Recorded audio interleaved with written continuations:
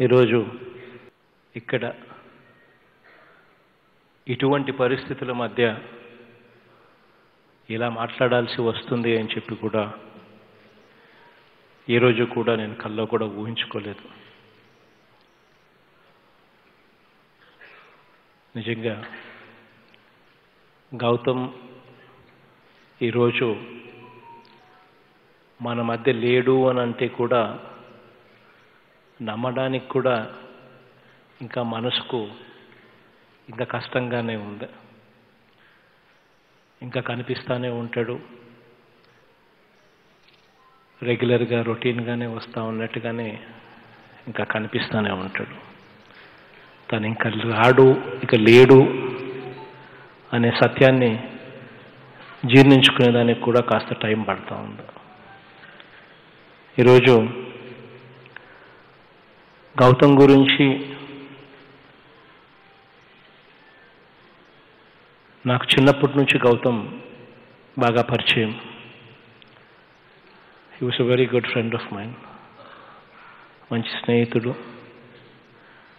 In fact నాకు బాగా గుర్తుంది కూడా. తాను రాజకీయాల్లోకి ఇంకా అప్పుడు అడుగు కూడా పెట్టలేదు ఇంకా రాలేదు.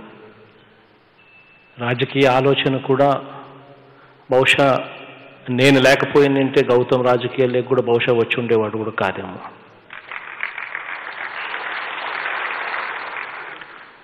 అప్పట్లో కాంగ్రెస్ పార్టీ నుంచి నేను బయటికి అడుగు వేసినప్పుడు రెండు వేల తొమ్మిది రెండు వేల పది ఆ ప్రాంతాల్లో అప్పటి నుంచి కాంగ్రెస్ పార్టీతో ఒక యుద్ధం స్టార్ట్ అయింది.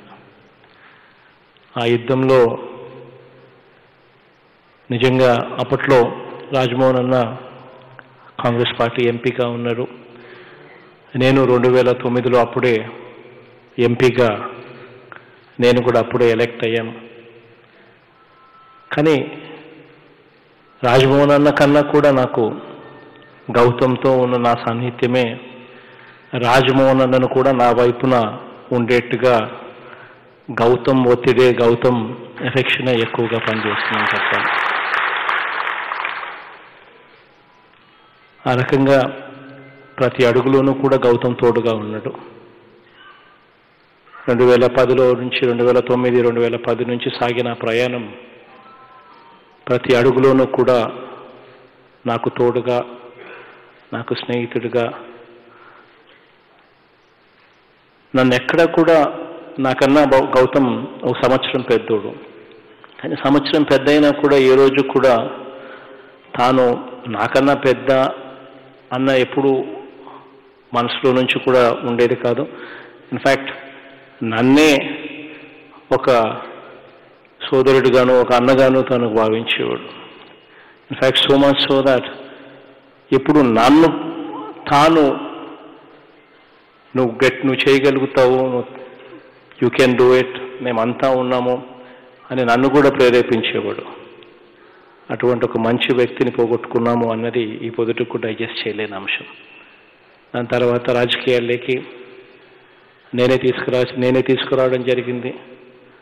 నేనే రాగవుతామని చెప్పి నేనే తనను రాజకీయాల్లోకి తీసుకొని రావడంలో నేను అడుగు వేయించాను అని చెప్పి అడుగు వేస్తేనే తను అడుగులు తన అడుగులు కూడా వేశాడు.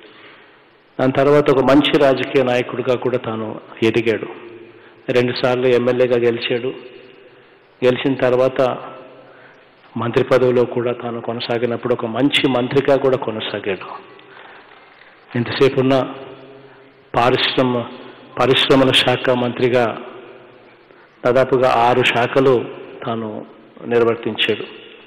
పరిశ్రమలు ఐటీ స్కిల్ డెవలప్మెంటు వగైరా వగైరా అన్ని కలుపుకుని ఆరు శాఖల్లో.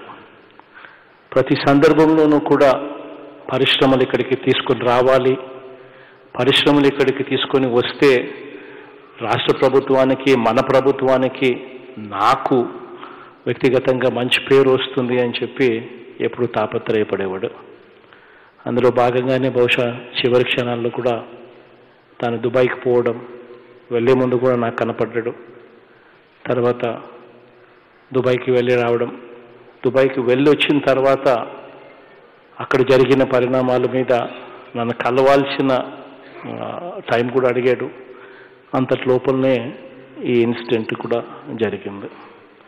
ప్రతి సందర్భంలోనూ కూడా ఒక మంచి మంత్రిగా ఒక మంచి ఎమ్మెల్యేగా ఒక మంచి స్నేహితుడిగా అన్ని రకాలుగా ఒక మంచి వ్యక్తిని కోల్పోయాము అని చెప్పి కూడా డైజెస్ట్ చేసుకోవడానికి ఈరోజు కష్టంగానే ఉంది.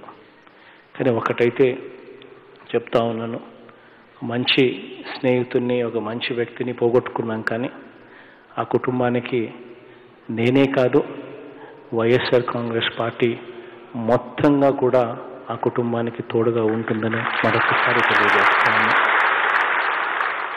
ఖచ్చితంగా ఆ కుటుంబాన్ని దేవుడు తోడుగా ఉండాలని ఆ కుటుంబానికి అన్ని రకాలుగా మంచి జరగాలని చెప్పి మనసారా కూడా కోరుకుంటా ఉన్నాను. ఎంత చెప్పినా ఎంత మాట్లాడినా కూడా ఆ లోటునైతే మేము భర్తీ చేయలేము కానీ కానీ మనిషి వెళ్ళిపోయిన తర్వాత కూడా ఆయన ఎంతమంది మనసుల్లో నిలిచిపోయాడు అన్నది మాత్రం ఖచ్చితంగా నిలబడిపోతుంది.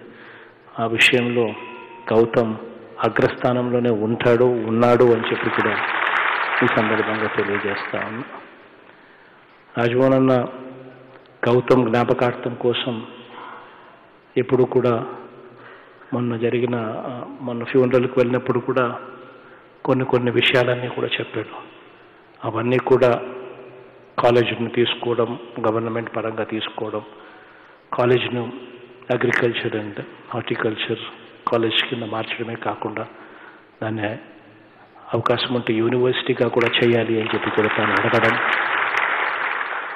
ఇంకా ఇటువంటివన్నీ కూడా ఇటువంటి విషయాల అభివృద్ధి విషయాలలో భాగంగా వెలుగొండ ప్రాజెక్టు ఫేజ్ టూలో ఉన్న ఉదయగిరి ప్రాంతము బద్వేల్ ప్రాంతాన్ని ఫేజ్ వన్లోకి తీసుకొచ్చి అక్కడ కూడా ఆత్మకూరుకు అండ్ ఉదయగిరికి రెండు నియోజకవర్గాలకు కూడా దానివల్ల మంచి జరుగుతుంది.